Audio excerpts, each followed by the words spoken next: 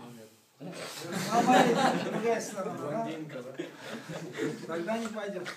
Нам нужно одно выбирать. То есть у нас есть главное, есть второстепенное. Если в главном есть второстепенное, это прекрасно. Это как этот Аль-Хорезми, математиком же был, его спросили, как выбирать жену, он сказал, э, первое это богобоязненность, по- поставите единичку, потом знатность, допишите ноль, будет 10, потом богатство, допишите еще один ноль, будет 100, потом еще третье, третье что было? Красота. Красота, еще будет 1000, и уберите единичку, будет ничего.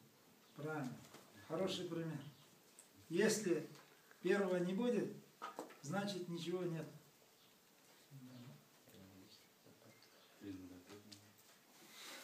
Так, мы сказали, богобоязненность, да? Смотрите, все, все, да, хотят, чтобы семья была счастливая. Все хотят. Но все, может быть, да, или, скажем, некоторые э, эти, да, ставят для того, чтобы семья была счастлива, да, придумывают вещи. Например, у нас в шариате указано, мы, как сказали ранее, у нас в шариате есть на все указания. Для того, чтобы была семья счастливая, нужно просто следовать указаниям шариата. С самого начала мы сказали, как выбирать женщину, да? как выбирать жену. Это в первую очередь. Следующее. Как мы должны поступать, как мы должны никах совершать. Это все важно. Если мы выбрали жену богобоязненную, например, да, и поступили неправильно, следующие действия у нас неправильно, возможно, это где-то скажется. К примеру, в шариате, если вы хотите жениться, если кто-то хочет жениться, он должен что сделать? Что он должен сделать? Человек знал, а? намерение есть, Выбрать жену. выбрал жену, Стихару. есть, Посват. истихару сделал, нормально, а? К отцу пойти. очень важно. Я сначала номер Смотрите, вот, да, смотрите, очень важно, очень важно. Почему, как бы, нужно здесь заострить внимание, если мы начинаем с головы или, скажем, с крыши и неправильно, не снизу, это будет неправильно. Нужно пойти прямо к отцу, сказать свои намерения. Если отец дает добро, все остальные вещи потом. На наше время можно встретить или заметить абсолютно обратное. Девушкой знакомятся, разговаривает, годами встречаются. Причем, который совершает намаз. Договариваются, когда они хотят жениться. Домашние еще не знают. Потом приходят и оповещают, мы решили жениться. Или я решила выйти замуж. Неправильно. Как мы уже сказали, если у кого-то есть намерение, он должен пойти в первую очередь к отцу и сообщить отцу о своих намерениях. Если отец видит в этом человеке порядочность, если дает добро, тогда он может остальное, то есть, скажем, видеться с девушкой и остальные, скажем, действия. К своему отцу или...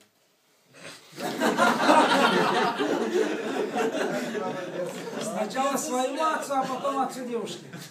Да. Правильно? Своему отцу тоже. Бывает случай, бывает случай, да? Были случаи. Парень захотел жениться. Не оповестил домашних. Пошел договариваться с девушкой, что он хочет жениться. Ну там со стороны девушки сказали, ну ты приведи родителей хоть один раз. Столько лет встречаетесь, это идет речь о пятикратном намазе, который совершает. Он пришел отцу и говорит, я, говорит, женил, жениться решил. Мы, говорит, дату все уже договорились, а там попросили, чтобы я вас привез туда. Он разозлился и сказал, говорит, если все уже решили, говорит, иди, говорит, сам уже остальное тоже делай. Скажи, говорит, папа не придет. А он в это время со своим другом был. И друг говорит, эй, если твой папа не хочет, пойдем дядю заберем и пойдем. Настолько неуважение, да? Это неправильно. Вообще неправильно. Кто такой отец? Что он не заслужил оповещания, что он жениться хочет? Или каких-то советов он не нуждается в этом? Как сказать, вот так, сам я могу решить, отец может еще и неправильно что-то подсказать, лучше его вообще не оповещать, а там потребовали, хоть привези родителей. Но отец парню вот, может по шариату запретить жениться? По каким-то причинам, вот, просто личным. Просто, по личным причинам. Да. Смотрите, отец никогда по своим личным причинам не запретит ребенку. Не думаю, что может быть такое. Но если нормальный человек, конечно, разные люди бывают. Да? Смотрите, ученые да, исследовали человека. Исследовали человека в плане том, что только отец да, не может ревновать сыну или не ревнует сыну. Всем остальным он может ревновать. То есть ревновать как имеется в виду? Вот если э, вот человек, да, мужчина, если брат там что-то там, у него что-то лучше пошло, да, он может заревновать. Даже отец, если у него, допустим, что-то, да, он, у него может что-то появиться, да, но никогда, говорит, сыну он ревновать может, он будет, говорит, радоваться. Вот за сына отец, вот, ну, исследовали, вот за сына он не будет, он будет радоваться, говорит, насколько он будет подниматься, говорит, это, говорит, у него только будет радость. Как будто он сам. А у остальных, у всех, говорит, даже к отцу может ревность, даже к брату может, даже к самому всем друзьям, ко всем может быть вот ревность, да? Но к сыну, говорит, у него не бывает. Как, чем больше сын поднимается, он тоже вместе с ним растет, как бы. Поэтому запретить по каким-то личным причинам, Аллах алям, не может быть, если это А нормальный вот человек. это. А? Ну вот есть случаи, вот ну, отец соблюдающий тоже, и сын соблюдающий, а вот у него, ну, нашел пару и она русская, тоже соблюдающая, а отец не хочет. Ну, говорит, типа, она русская. Он по своим личным не хочет, да? Ну, тоже типа, ассимиляция. ассимиляции. Смотрите, а? Из-за нации получается. Не за нации. Не за нации? Почему? Из-за нации. Из-за нации. Смотрите, отец, возможно, возможно, да? Отец, возможно, возможно, прав. Этот парень не понимает, возможно, что-то еще. Знаете что? Шариат не запрещает жениться. Смотрите, вот в шариате есть такое понятие куф. Куф-ун. Куф-ун – это как бы достойная пара. Что имеется в виду достойная пара? Да? В шариате, вот Абу Ханифа, да, рассматривал такой вопрос еще. Например, а, даже такие, как племена, например, да, одно из племени, например, да, то есть, э, например, если э, девушка Кураши, да, с Курышитов, не может выходить замуж за не Курышита, или нежелательность сказали, это противоречит шариату? Ну да, да. Если она Как бы противоречит, да, они нежелательность. Куф сказали, куф, знаете что? То есть очень много вещей сказали, богатство должно соответствовать. Ну почему они это сказали, знаете что? Они сказали, да, в первую очередь стоит богобоязненность. Но эти вещи тоже нужно посмотреть, знаете почему? Например, вот такой этот сказали, что мужчина должен чуть-чуть богаче быть, в любом, хоть чуть-чуть богаче должен быть, чем девушка.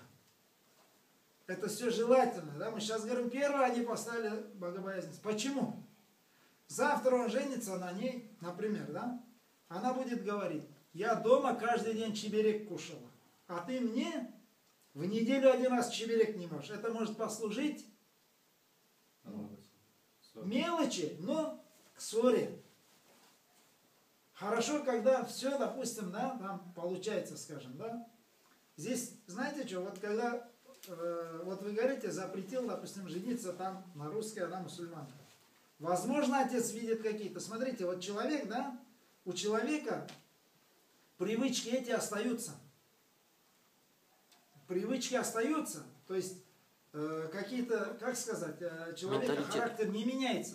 Да? Характер не меняется. Который человек, допустим, 30 лет привык в одном, да?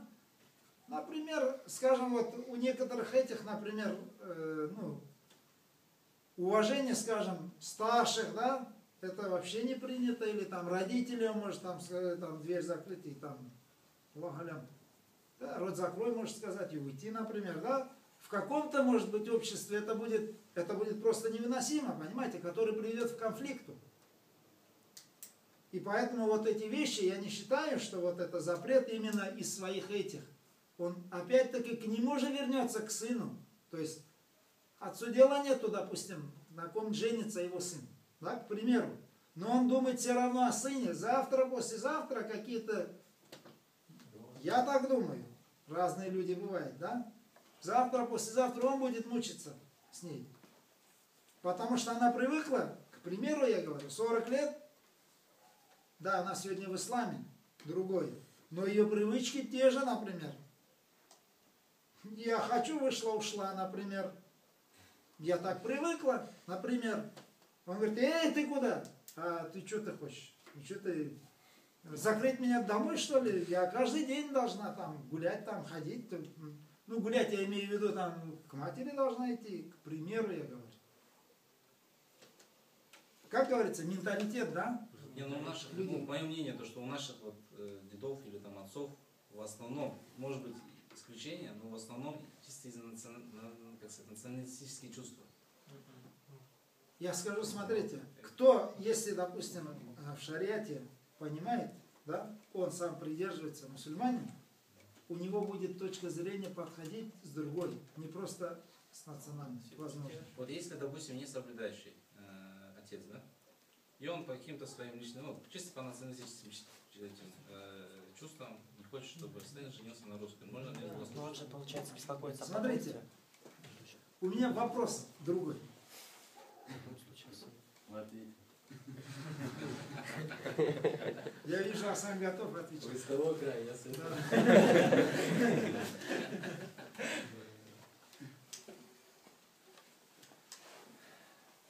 Отец не хочет, чтобы он на ней женился. У меня вопрос, только нужно будет, знаете, лично тому человеку задать. Почему он прицепился именно к этой девушке? Вопрос. Асан, почему? Конечно, понравился. Влюбился, наверное, не знаю. Влюбился в такой. Я говорю, вот лично к этому человеку нужно задать вопрос. Понимаете? Все ли правильно он поступил по шариату?